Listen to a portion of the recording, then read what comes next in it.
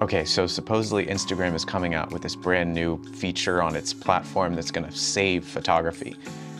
yeah, okay. We all know photography is dead on Instagram and social media, except Twitter, oddly enough. But this new feature is a 9 by 16 format. So that means that the photo is gonna take up the whole entire screen of your iPhone, which is pretty cool. Maybe it could save photography. I doubt it, but seeing a photo in a full 9 by 16 file format instead of a 4 by 5 would actually be kind of nice. And if we know anything about Instagram, it's when they come out with a new feature and you use it as a content creator, they will push your content like crazy. So in today's video, I'm gonna show you how to export your photos in a 9 by 16 file format and the best export settings. We're gonna use Photoshop. We're gonna make your photos look super high quality for Instagram, for its compression algorithms and everything that it uses when you post one of your photos. Now, this might seem like a lot of extra work going into these export settings and using Photoshop, but if you aren't willing to put in the extra work for your content, then is your content going to put in the extra work for you? Think about that.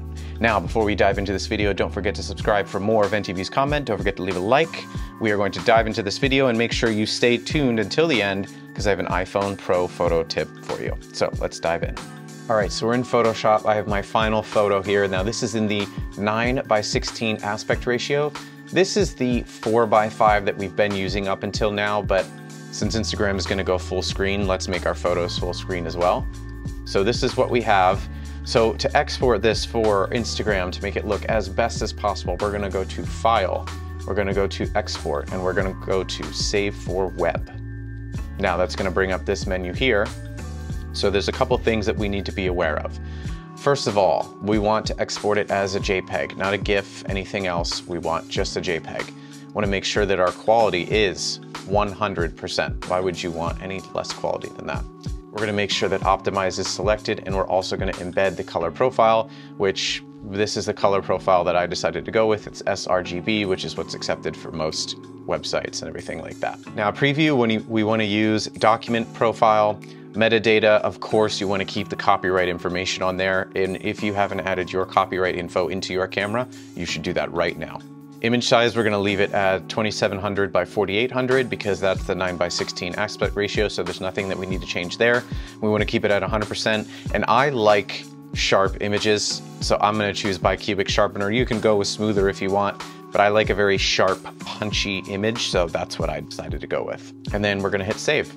And here's our 9x16, super sharp, ready for Instagram image, ready to take up that full screen 9x16 whenever they launch that feature. Now, if you have the iPhone 13 Pro or Pro Max, you can shoot raw images, and since so many of us are uploading our photos to Instagram directly from our phones, I thought I would show you guys this little tip. So let's step outside and I'll show you something. Okay, so I have my camera open here and we have a 4 by 3 aspect ratio, which is usually what the iPhone has by default. We have black bars along the top and the bottom. So if you hit this arrow up top here, it changes the settings so we can change it from 4 by 3 to 16 by 9. So now when I take a photo, it will take up the whole screen rather than a 4 by 3 with the black bars along the top and the bottom. So full screen and then the 4 by 3 the old way. So this is how you want to shoot your photos if you're going to upload things onto your iPhone so that way you take advantage of the full screen. All right, so that concludes the video. Super sweet, short, to the point. Hopefully you guys like this video and I'll see you in the next one. Okay, bye.